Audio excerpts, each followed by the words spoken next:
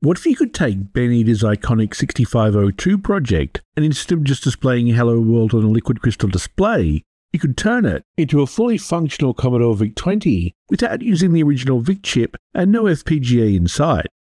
Sounds crazy, right?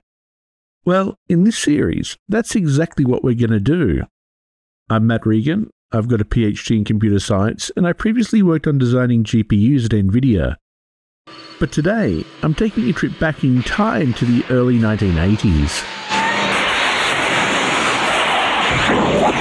No, not that sort of trip. Instead of relying on custom chips, I'm going to replace the VIC chip with nothing but TTL logic and a few EEPROMs. And, to top it off, we'll be outputting a modern VGA signal. We'll start by debugging Ben Breadboard 6502 project and rebuilding it on Perfboard, but that's just the beginning. From there, I'll walk through how to build a raster generator and create a monochrome video system. After that, we dive into graphics mode and color, and of course, we won't forget about sound. This is going to be one wild nostalgic ride, so let's see if we can turn the breadboard 6502 into a Commodore VIC-20.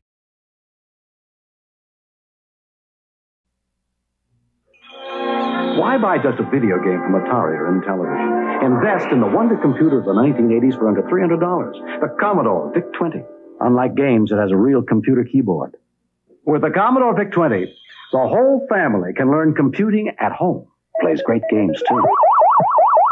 Under $300, the wonder computer of the 1980s, the Commodore VIC-20. Coming soon, Commodore brings you Gorf, the Wonder arcade game, and Omega Race in home versions. Commodore. Here's Ben Eater's design. We can see the Western Design Center 65C02, a 32 kilobyte static RAM chip, and a 32 kilobyte EEPROM. Well, EEPROM, electrically erasable programmable read-only memory. This chip is a 65C22, which is a versatile interface adapter, and it's used to connect the CPU to the LCD display and key switches. From the CPU's perspective, there are only really five different types of transactions. Reading from the EEPROM, writing to and reading from the static RAM,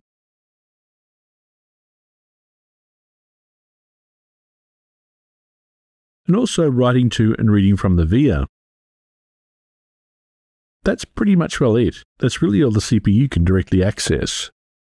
The CPU alone decides whether it wants to read or write, and this signal, the read write bar line, tells the rest of the circuit what the CPU wants to do. I've wired up my own version of the Hello World 6502 base breadboard machine. I'm not going to show the build here, you can see that on Ben Eater's videos, but I will go over the two main bugs they found. It's slightly embarrassing to publicly admit your mistakes, but I want to show you how easy it is to slip up and show an approach that I use to get the machine going. The big difference with my build is that I don't have a 1 MHz oscillator, so I've used this 16 MHz oscillator and I divide the signal by 16 with a 74HC161. This little power board that I use has a 555 timer, which can also be used to clock the circuit. This means I can choose between a fast clock and a slow clock whenever I want. I've used an extra breadboard compared to Ben Eater because I like to have these 600mm chips straddle the power rail. If I put in some small jumpers in the middle, this essentially gives me 7 different breadboard wiring locations per pin, compared with 2 or 3 the way Ben Eater does it. As a result, it's much easier to lay the wires flat on the board, which, at least in my opinion, makes the build a little bit more robust. When I think the board's complete, but before I power it on, I like to do a visual inspection check that all the chips are in the right way, and no obvious errors. Next, I check to make sure there isn't a dead short between power and ground. Sometimes I place a reverse bias power diode, which protects the circuit if I connect the power up the wrong way. I've done that more than once. Next, apply the power and check the voltage on all the chips. Chips in the 74HC series are actually pretty forgiving in this respect. They will tolerate quite a big voltage range. When there's a microprocessor, I check the reset and clock signal. They were both good in this case, but there was no Hello World on the display. Now, the important thing here isn't to have a heart sink moment. You've got to expect it not to work.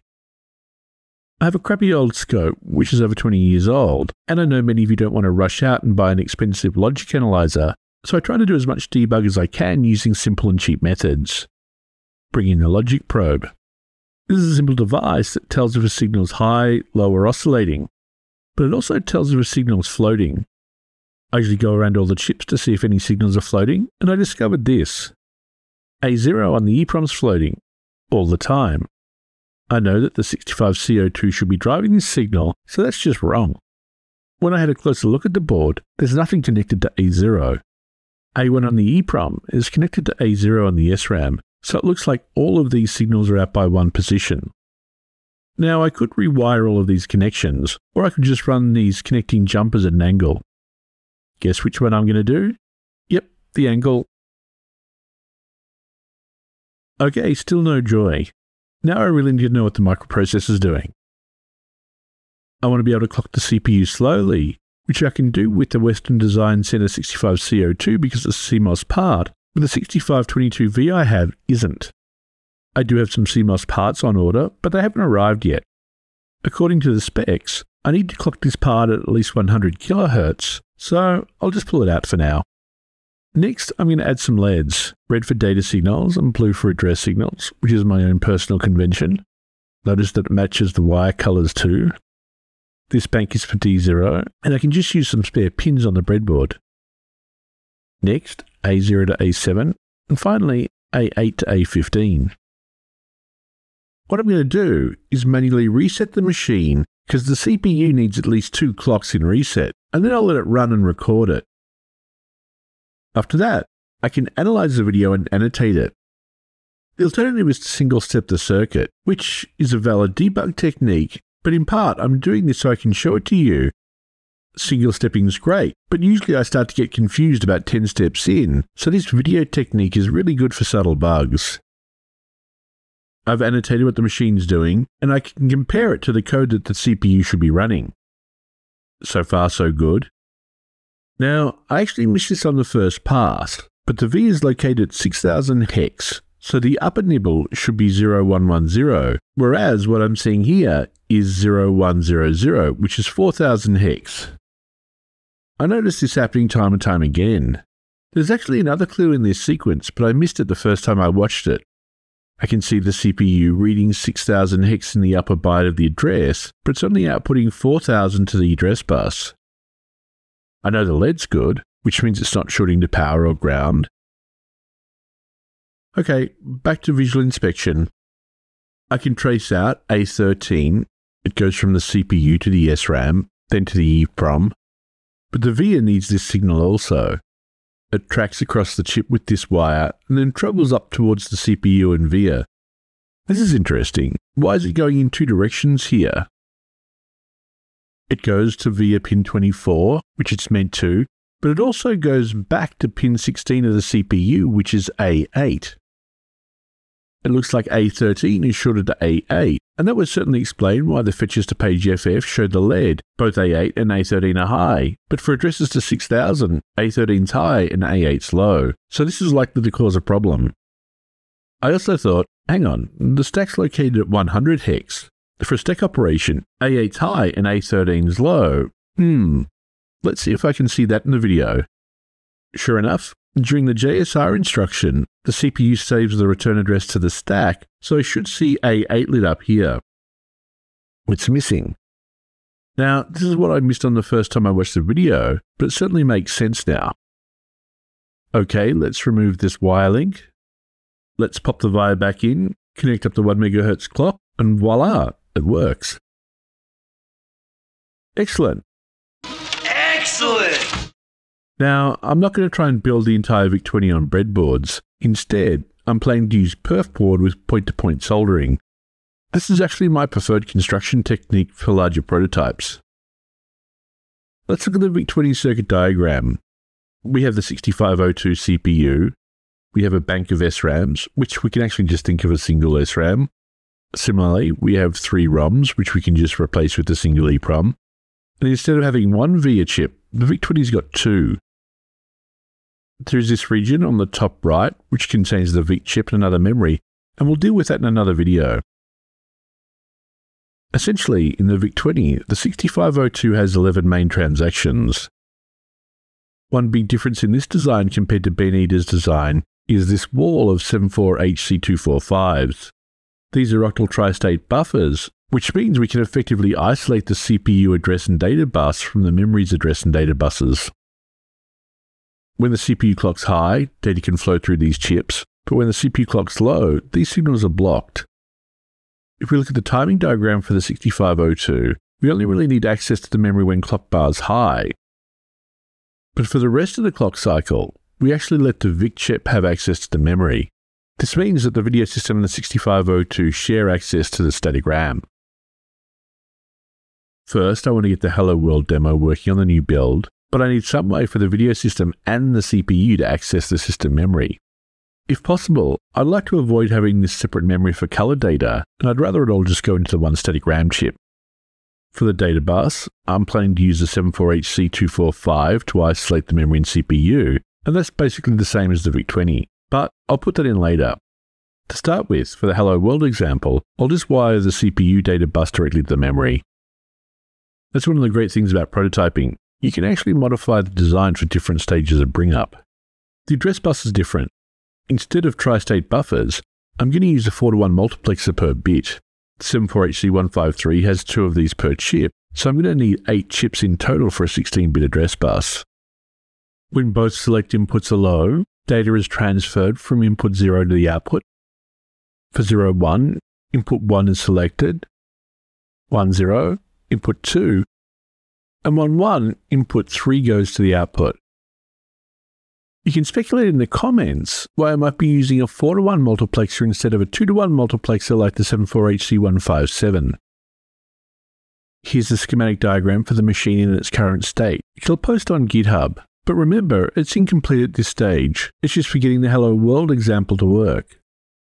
I have a 16 by 2 liquid crystal display on the left, and we know that the VIC-20 has two VIA chips, so I'll wire both of them in now, but I'll disable one of them. Next is the 65C02, then 8 of the 74HC153 4 to 1 multiplexers. After that, we have the 628 128 static RAM chip, which is actually much larger than I need. It has a capacity of 128 kilobytes, but I just happen to have plenty of them on hand. I'm going to wire in two EEPROMs, one for system code and the other for game cartridge storage. Again, these chips are much larger than I need. I'll use a pair of 27C4001s, which to 512 kilobytes, but I could get away with a 32 kilobyte part like the 27C256. By using a larger EEPROM, I should be able to store 64 8K games or 32 16K games. Just like I did on the Ben Eater breadboard prototype, I want to be able to put LEDs on the address and data lines for debugging but these are optional and I haven't shown them in the schematic diagram. This is the layout for the board. It pretty much matches the ordering in the schematic diagram except for the LCD. I'll go through the wiring relatively quickly. These are the memory address lines going from the bank of multiplexers on the right to the static RAM and EEPROMs on the left. I'm using a 10 watt soldering iron, which is really good for this sort of fine work, but I generally turn the temperature up higher than I normally would because the tip seems to have a low thermal inertia and it cools down as soon as it melts solder.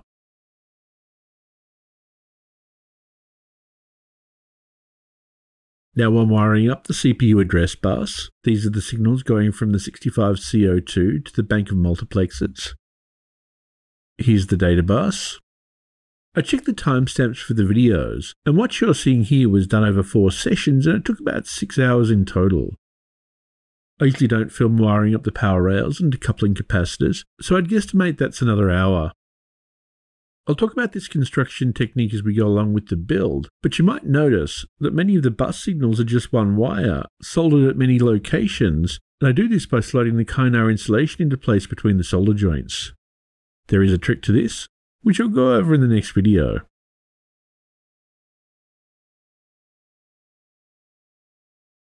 This is the connection to the LCD. I usually don't show wiring for the power rails because, well, it's kind of boring, and I also leave out the control signals because they're a bit too messy to follow on camera. Because the joints are soldered, the result's a bit more robust than breadboard wiring. That's all wired up. This is essentially the same as the breadboard version of Ben Eater's design. The big difference is that all the CPU address lines go through this bank of 4 to 1 multiplexers before touching the memory. At the moment, the multiplexers are hardwired to only pass the CPU address through, but this will change when we introduce video later. The point is, I want to show the evolution from Ben Eater's design to the VIC-20. Let's see if it works. Notice that I'm using the same trick I used for the breadboard build, and sure enough, it paid off again. I only had one bug on this board. I'd wired up the chip select signal on the VIA to A9 instead of A13. I used the right pin, just the wrong side of the chip. Sometimes it can get confusing when looking from underneath. Excellent. As you can see, we've successfully rebuilt and debugged our version of Ben Eater 6502 system. We've got the core of the project up and running, but this is just the beginning. In the next video, we're going to tackle something really interesting, the video subsystem. We'll be building it from scratch, no VIC chip and no shortcuts, just TTL logic and some good old-fashioned EPROMs. It'll be tricky, but by the end of the next video, we'll have a functional raster generator capable of driving a VGA display. After that, we'll get a monochrome display working, and from there, we'll move towards getting color to work. So stick around, because what good's a VIC-20 without some killer video output? I'll see you in the next video.